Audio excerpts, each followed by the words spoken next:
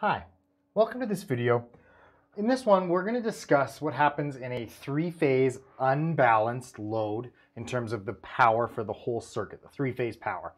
Uh, we're only going to be talking about the watts. It's very difficult to do the calculations for what happens with the VARs, with the canceling out in the different phases. So we're just going to talk about the watts in this uh, example. What we've got here is a three-phase unbalanced Y load. So what you can see here is I've got three phases.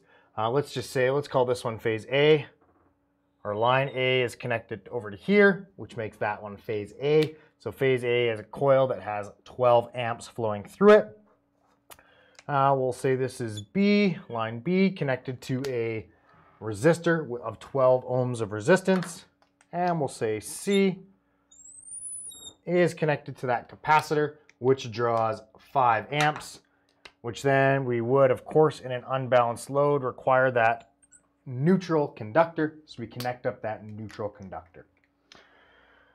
Now, what do I want to do here? Well, I want to figure out my power within each phase. So what you're here for, the reason you're here, is we're here to calculate the power total in the circuit. So the big thing to remember is when I'm looking for three-phase power, I need to go the power of phase A plus the power of phase B plus the power of phase C. Now in this case, because we are dealing with a Y circuit, I do have another video doing the exact same thing with a delta circuit, which you can check out. But in this case, we're dealing with a Y circuit, so it would be A to N, B to N, and C to N would be our subscripts.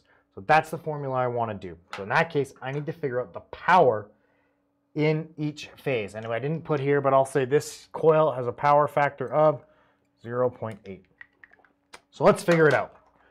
Phase A, we've got a coil, and this is a 120 slash 208 volt source. Now we have all the info.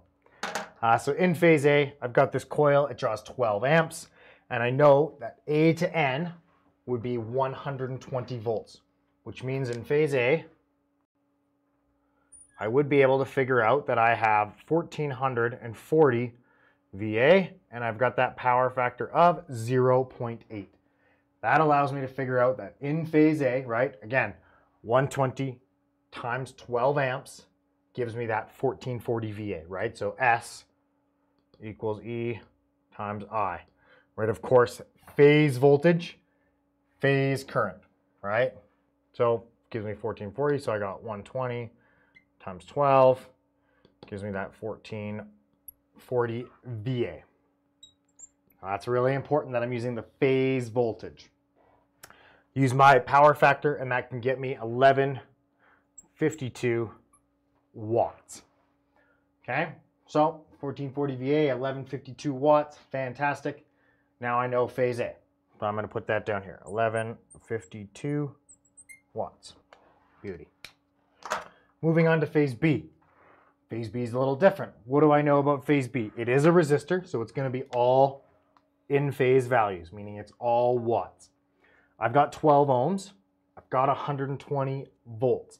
A couple things I can do. I can go P equals E squared over R. Again, that's the phase voltage over the phase resistance. So 120 squared divided by 12 ohms uh, that is going to give me a power of 1200 watts.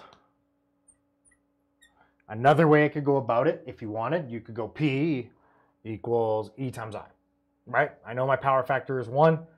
Oh, I don't have E, or sorry, I don't have I. 120 volts, 12 ohms, that gives me 10 amps, right? I could calculate out 10 amps if I wanted, 10 amps times 120 volts, phase voltage, phase current, gives me 1200 watts. The last one here, where's my blue? The last one here is phase C. Phase C is a resistor, or sorry, a capacitor with 5 amps. Capacitors are all out of phase values, meaning I'm all VARs, which means that in phase C, I would have 0 watts.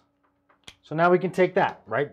Capacitor, pure capacitor, gonna have 0 watts we said I have 1200 watts in phase C, and we said I had zero watts in phase C. So My three-phase power, 1152 plus 1200 plus zero is going to end up giving me 2,352 watts. Would be my total three-phase power. Um, so hopefully that answers what you came to this video for. What is my total power in a three-phase unbalanced Y circuit? And that's how I calculate it. Whether you're Y or Delta, you want to use that formula. That's the one. Thank you so much for watching. Have an awesome day.